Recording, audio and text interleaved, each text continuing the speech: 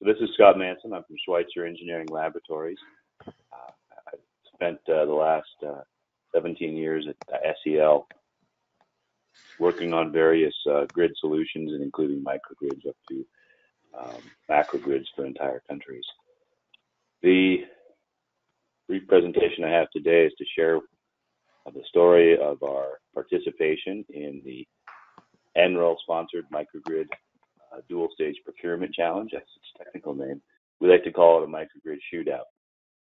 It was a opportunity for us and all of our competitors around the world to put our best foot forward to NREL and provide a uh, microgrid solution both in uh, in terms of functionality as well as cybersecurity and be evaluated by uh, one of the nation's leading research laboratories.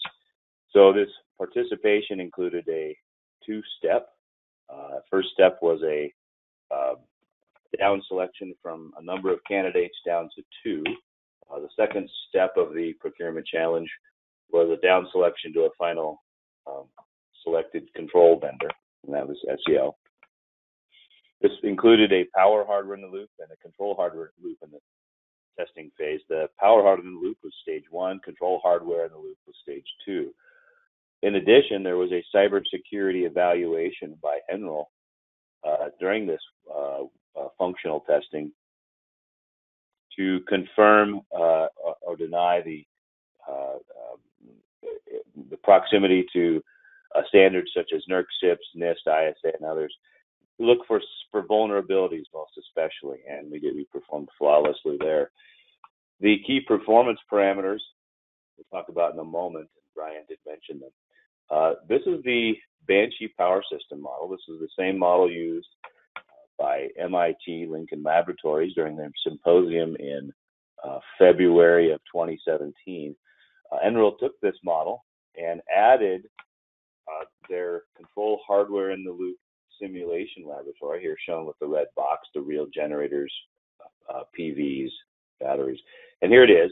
This, they, they used their grid simulator as a source they had a diesel generator in the yard. They had battery systems and photovoltaics with real inverters and real equipment.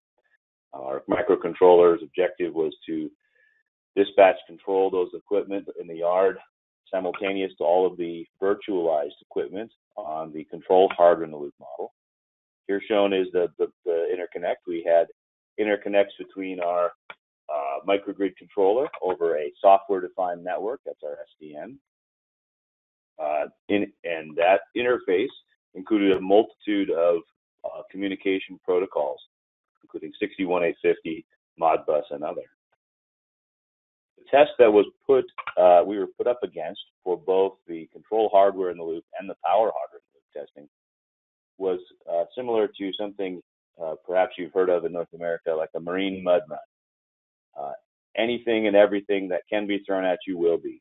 Uh, the li- entire life of a microgrid was thrown at us in a 100 minute run. This was evaluated objectively by a MATLAB routine running uh, uh, in real time. Uh, the script was evaluating our performance on a number of key performance parameters. Here you see the actual mud run, the actual test sequence. We have irradiance changing, we have uh, grid grid frequencies and voltages moving we have uh, demand response requests. We have faults on generators, uh, interties, uh, interconnects tripping out, uh, motors tripping out. So a very difficult set of of, of, of tests that uh, make it impossible to be perfect. In fact, there had to be some decisions made. We'll talk about that in a minute. The here are the key performance parameters selected by Brian and his team. Uh, the most most especially interesting one for me was resiliency and reliability. Uh, we ran a few tests and observed the response in terms of scoring and realized very quickly that uh, resiliency uh, was the way to achieve the highest uh, score. So we focused on the technology which we had perfected in the oil and gas industry for, for nearly 20 years. Uh, but of course, additionally, we had to observe minimum fuel consumption, minimum emissions, uh, of course, uh, uh of course, using as much of that low cost photovoltaic energy as we could and using battery storage as best we could.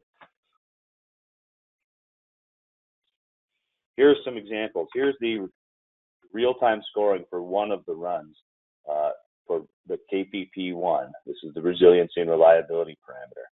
Uh, what you'll see is that you have interruptible priority and critical loads. If we were to have tripped critical loads, we would have been docked a great deal of money.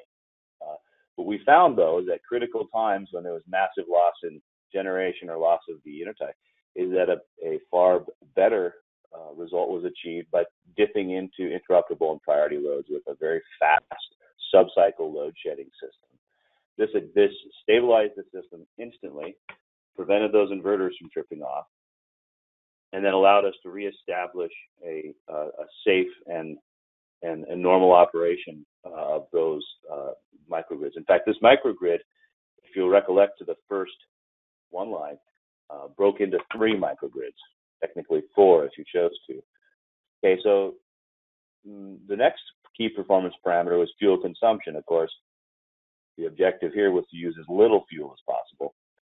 Uh, but we did use diesel. At times, it was uh, necessary to use a lot of diesel to improve the uh, reliability and to cover times when there was shading while you were islanded, et cetera, et cetera. Power quality was an interesting metric. This was about grid. Uh, you, this was a matter of voltage and frequency deviations from nominal. And what we would see is that during off frequency events, uh, uh, part of our objective was to provide grid support. And so our controller, as, as it does in hundreds of field installations worldwide, uh, provides uh, grid stabilization support. And here are, was the typical uh, uh, final scoring. this was towards the end of our runs. You can see we ended with right around 3,000 US dollars over a 100 minute run. The dark blue line is the final score, the totalized score. And you can see that we were, of course, using money on diesel, and we were, uh, but we were we were gaining money uh, by focusing on keeping the lights on for critical customers. Now, I'll show the same plot that Brian did, um, and I, I observed. I'll share some things here. So the first part of this, these are all the runs that we performed during the hardened loop testing. These shaded blue is the control hardware in the loop uh, portion of the test. What you'll see is that uh, uh, we we achieved the, those three thousand uh, dollar numbers towards the end of our runs. Uh, the second part was the control hardware testing, and then again we achieved those same $3,000 runs. But what's interesting, as soon as we switched over to control hardware testing, we had new communication interfaces, new things to go wrong, and it was like commissioning a real power system.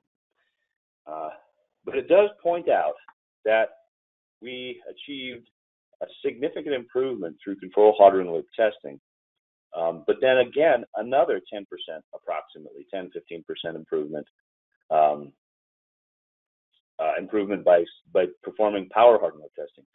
Now it does it does say that about 80 to 85 percent of the uh, performance can be achieved with only control hardware loop testing. But what we have observed is you can get another 10 to 15, perhaps even 20 percent improvement uh, by, by, by going through with a full power hardening test. And for new systems, I think new, innovative, different systems, uh, we're advocating at SEL both PHIL and, C- and CHIL. Uh, pardon me, I see a small error in the slide here. But uh, the 5,000 improvement was with power hardware testing. Uh, but what we, in all of our PowerMax projects worldwide, we have mandated for over uh, 14 years that every project uh, be tested in a control hardware in the loop environment. And, and this is the reason why. It's about quality, it's about delivering on time and on promise, so the products used to uh, win both the cybersecurity and the uh, microgrid challenge were the 3555 real-time automation controller. This is our quad-core, uh, highest horsepower uh, real-time engine. Uh, about a dozen PLCs capacity are in this single box. Uh, we have we had the PowerMax microgrid control libraries loaded onto that hardware platform. That's the uh, most evolved uh, PowerMax uh, set of libraries. This was developed by myself and many others uh, in the oil and gas and the DoD industries for maximum reliability of their power system. Okay, then finally the 2740S. This is a completely different approach to uh, cybersecurity and one that uh, achieved us perfect scores at the NREL uh, competition. So please look into those products, and I'll take any questions you might have. And Wallace, I'll, I'll take your lead. Thank you very much for your presentation, Scott. It was really interesting.